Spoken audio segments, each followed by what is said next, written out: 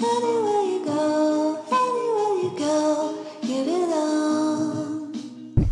guys good morning welcome back to my another blog so आज day है four और आज मैं जा रहा हूँ तिरुंड तो तिरुंड ट्रैक के लिए बेसिकली सबसे पहले आपको थोड़ा सा फ़िज़िकल फिट भी होना पड़ेगा आपको, ठीक है? Physical fit in the sense कि आपको थोड़े दिन पहले रनिंग वगैरह आप करते रहो, थोड़े बहुत स्क्वाट्स वगैरह लेग की एक्सरसाइज वगैरह और हेल्दी फ़ूड आप खाते रहो. सो तिरुंड ट्रैक बहुत ईजीली हो जाएगा आपसे। तो वही ट्रैक करने के लिए जा रहा हूँ। इधर धर्मकोट में मैं रह रहा था, हिली पैराडाइज के अंदर। एक होटल है, उसके अंदर रह रहा था। बहुत नॉमिनल चार्जेस थे स्टे करने के। और अभी सुबह के बज रहे हैं six twenty three so basically मैं निकल पड़ा हूँ तिरुंड के लिए। तिरुंड की हाइट थोड़ा सा ज़्यादा नहीं है बट इजी लेवल का बिगनर्स के लिए अगर कोई फ़र्स्ट टाइम ट्रैक कर रहा है तो इस ट्रैक को कर सकता है इजीली सुबह का व्यू धर्मकोट का कुछ तरीके का है और ये वो जगह है जहाँ से तिरुंड के लिए। हम जाते हैं। बेसिकली ट्रैक थोड़ी देर बाद शुरू होगा। गालू देवी का टेंपल आएगा। उसके बाद आपका ट्रैक शुरू होता है छः किलोमीटर का। बेसिकली ये वो जगह है जहाँ से एक्चुअली में आपको ट्रैक करना पड़ेगा।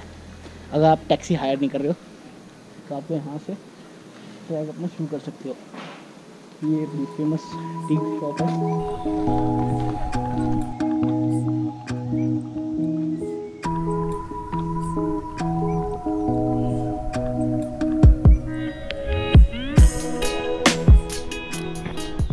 मेरे अलावा इस ट्रैक पे अभी तो कोई नहीं है, मेरे को दिखा।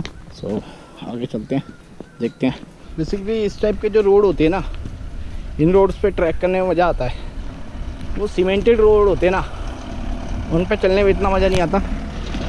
जितना इन पे आता मुझे इन वाले रोडों की बात ही कुछ और होती है, क्योंकि थोड़ा नेचुरल लगती हैं चीज़ें, कि पत्थरों के ऊपर से आप जा रहे हो। प्रॉपर रोड नहीं है आपका, बना हुआ। बालू रेते वाला, या फिर बजरी वाला कोई रोड नहीं है। ऐसी चीज़ें चलने में ज़्यादा मज़ा आता है।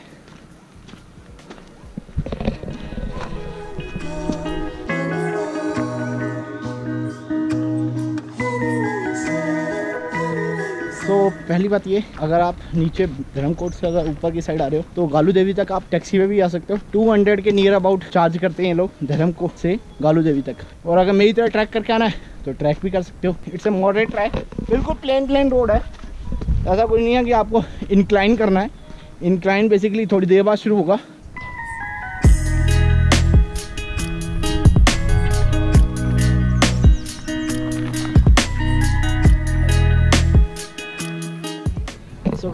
This is a galu devi temple, and that's the point. You can start your actual track from here to there. So, इसके पीछे की साइड जाना है।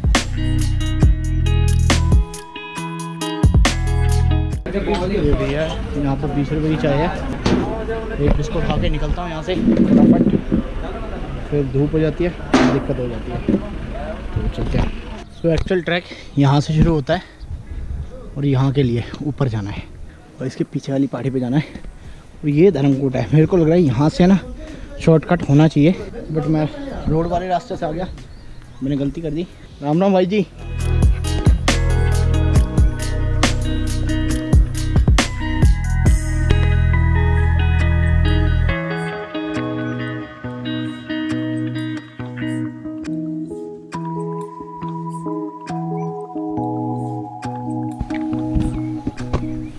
कितनी शांति है यहाँ पर। यही चीज़ होती है, जब आप इस तरीके के ट्रैक पे आते हो तो आपको ये चीज़ इन्जॉय करनी चाहिए। मज़ा आता है। हाँ बट पैर संभाल के रखने हैं और जिगजैक वे में चलना है। ऐसे ऐसे ऐसे, इस टाइप से चलना है आपको। ये नहीं, आप सीधे सीधे चलते जा रहे हो। सीधे चलने की जगह जहाँ पर हो वहाँ पर सीधे चलो, बस। अब ये है। इस जगह पे आप क्या जिगजैग चलोगे? तो इस जगह पे तो आपको सीधा चलना पड़ेगा बट जहाँ पे स्पेस दिखे, वहाँ पर जिगजैग तरीके से चलो। उससे ये है कि आप थकोगे कम और इजीली ट्रैक कंप्लीट कर लोगे।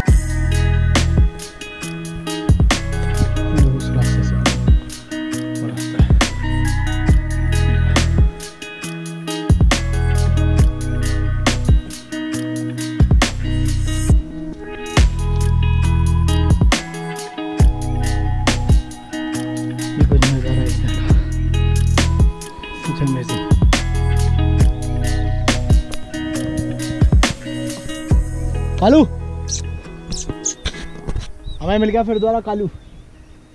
दोबारा कालू। और ये देखो व्यू। हर एक ट्रैक पे आपको कोई ना कोई कुत्ता तो ज़रूर मिल जाएगा। और कालू मेरे साथ साथ ट्रैक पे जाएगा।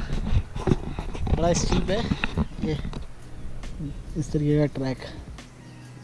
पत्थर ही पत्थर। अच्छा ट्रैक है। बेसिकली जो फ़र्स्ट टाइम कर रहा है, उसके लिए तो सबसे बेस्ट ट्रैक है, लग रहा है मेरे को। इजीली कर सकते हो आराम से। आठ पचपन हो रही है। साढ़े सात बजे ट्रैक शुरू किया था। डेढ़ घंटा हो गया। वन एंड हाफ़ आवर हो गए ट्रैक करते करते। बैक टू बैक एक जगह स्टे किया था। चॉकलेट बार वगैरह खा ली थी। हल्का पानी वानी पी लिया था। बढ़िया ट्रैक है। तो इतनी नैरो ट्रेल हो गई है। बाकी उधर की साइड से पीछे से आ रहा हूँ मैं। ये देखो। ऐसे पेड़ की जड़ों के ऊपर से निकल के जाओ। तभी ये ट्रैक होता है। और इसे कहते हैं असली मज़े ट्रैक के। सो ऑलरेडी गाइस पहुँच गया मैं तिरुन इन टू आवर्स अभी बज रहे हैं नौ बज के उनतीस मिनट। नौ बज के उनतीस मिनट और मैंने चढ़ाई शुरू की थी साढ़े सात बजे। सो दो घंटे में on the top of torrent